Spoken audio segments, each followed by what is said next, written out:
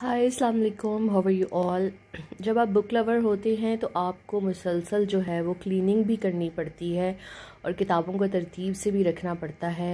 इस तरह अगर डिफेंस की किताबें तो एक तरफ़ होंगी जर्नलिज्म के हवाले से हैं, एक तरफ़ होगी ऑटोबायोग्राफीज़ हैं, वो एक तरफ़ होंगी।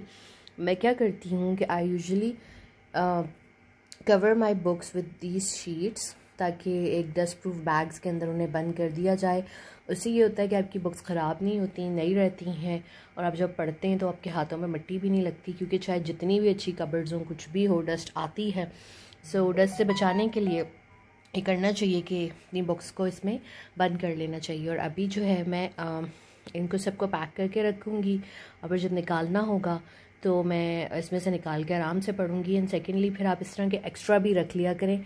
उससे ये होगा कि आपके पास अगर सपोज़ आपका कवर गुम हो जाए या ख़राब हो जाए तो आपके पास एक्स्ट्रा हो और आप जो है उसमें जो है वो कर लें।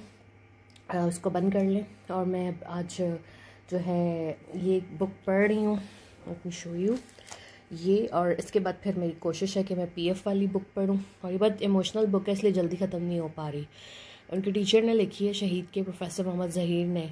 तो it's very difficult to read in a one go क्योंकि आप बार बार इमोशनल हो जाते हैं। और अल्लाह ताला जो है, हमारी तमाम जो है शहदा के दर्जात बुलंद करे और उनके लभाइकीन को सब्र जमील अता फ़रमाए। Thank you Allah half